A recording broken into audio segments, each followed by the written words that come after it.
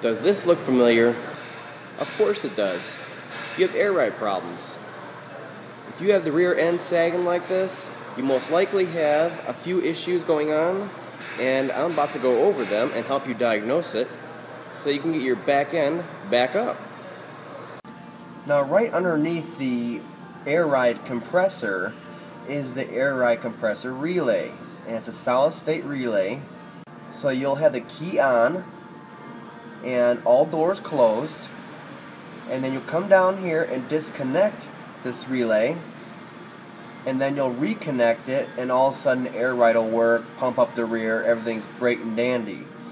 You'll think I just reset the relay, it must need a relay. Now, while the relays are common, what's more common is the actual plating problem on this stock pigtail.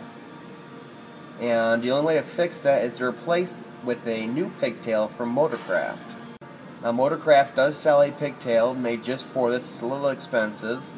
Uh, it's not too bad. So right there is an easy, easy check, and a lot of times that will happen. You will disconnect it, you will reconnect it, and all of a sudden everything's working. And it may go an hour, it may go a day, and all of a sudden it doesn't work again. In order to fix this issue, if that fixed it and it came back on for you, you need to replace the relay and that pigtail. And you should be all set with that. Now, if that did not fix it, and your air ride compressor still does not come on, we're going to do some real simple tests with this uh, relay to tell you if we need to go any further with an air compressor or not. Now looking at this, these two thick wires right here are our power wires. One's coming in, and then the other one goes out to the uh, pump itself, the air ride compressor. These thin gauge wires right here, these ones are just control wires. For our first test, what we're going to do is jumper this wire and this wire, two fat ones. And what it is that the one wire has a constant um, hot at all times, key on doesn't matter, off doesn't matter, and then the other one goes directly to the air ride compressor. The ground at the air ride compressor is constant. And what this is going to check is it's going to check both of these circuits, the power coming in, the fuse, everything, and it's going to check the wire and the whole harness back to the pump for uh, the ability to carry the current and to make sure it's not an open circuit, of course. And you'll easily be able to hear it being right here. Um, the pump be right there, easily hear it. All I gotta do is put have a jumper like this, something like this. You can even use wire like this and strip the ends bare, and then put one side in, and then you're gonna pop it into the terminal on the other one, and put it on there fast because it's a high amperage, and it will arc. So you just put it on there fast, and you can keep it on there. It's not gonna heat up too much. Over time will, of course, but once you hear the pump running, we're good. So I'll do it now.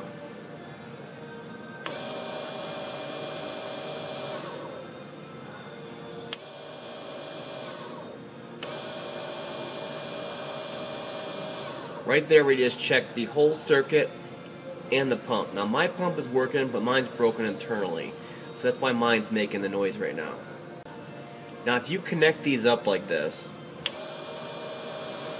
and your pump sounds normal the way it always has sounded for years or whatever, then you know your pump most likely is okay. Next we need to do is test these two small wires going into the relay. Make sure the relay is actually being commanded on. Moving on, we're going to test the small constant ground for the control part of the solid state relay. That's it's a light green with red. It's right here in the middle. This one right here. And then we're going to jumper it to the light blue and red wire. I believe it's right here. That's the one that's constantly hot. And we're just going to use that constant hot for our positive. And this is a constant ground. We'll be able to test that ground right there to make sure that it has the load uh, carrying capability and that's actually getting it ground. We, already know this is already getting a positive. We've just tested that. That's our constant hot. So what I use is um, a little uh, window motor. So I'm wired up just for this do a load test. You can use a test light as an incandescent bulb in it that will provide some kind of load to it and pull some amperage.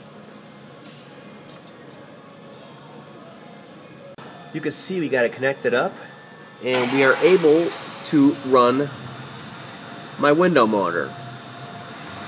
And it provides a nice draw on those two circuits and tells us they're both good.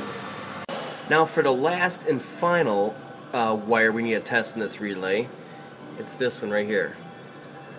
Okay, that's the command, the ground command from the air suspension module itself. Okay, what we're going to do is we're going to use this positive again as our positive source, since we know it's good. And then we're going to put a test light into this pin for that wire coming from the module. Go over and turn your key off and then back on and then close the doors and then come over here and you gotta look and see if we're getting that ground or not and it's actually commanding the compressor on. So if you are going to put a test light on this circuit, that ground circuit, the far right one, as I showed you earlier when the lights were on, your test light's only going to light up very dim like this. It's not going to be bright. If you put any kind of load on to load test the circuit, quote unquote, like my window motor, it's not going to be able to handle it and the voltage is going to drop. So don't misdiagnose that as being a circuit that cannot handle the current as uh, most times when you test a circuit you do it with um, high amperage device like I tested the other circuits on here. This control circuit, not the same. So as long as this lights up or you get voltage reading on your multimeter, which does not load test it, these are two of the same.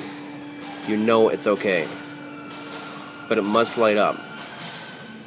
Now that we have tested all four circuits on this connector for this relay, if every one of these has passed, we now need to go after the relay itself. Unfortunately, there's no way to actually test the insides of the relay, so replacement is the only option for that. Like I said, they are common enough that uh, if you tested all four of these the way I've shown you, and your motor comes on we bypass the relay in the beginning of this video, then we know we need to change that relay out. Now, if you have bypassed the relay down below with the high amperage wires down there, and it didn't make a blip, it didn't pull amperage, it didn't spark, it didn't do anything, what we need to do is go after the pump itself. Disconnected the connector for the air ride compressor, and all you got to do now to test it directly is put power to the red and black wires on here. And just follow them up to their pins. And that's the power and ground for the motor itself. Now red is obviously positive and black is negative. But either way, it'll run and pull amperage and we'll see sparks and we'll know if it's running or not. Now the other thing to watch out for is the height suspension sensor popping off. They had a problem with that for a while, mainly when they went to a linkage system, and those were on the passenger side of the um, axle here. These ones, on the older ones, really didn't have an issue with them popping off. It's more the linkage style ones of uh, the newer years.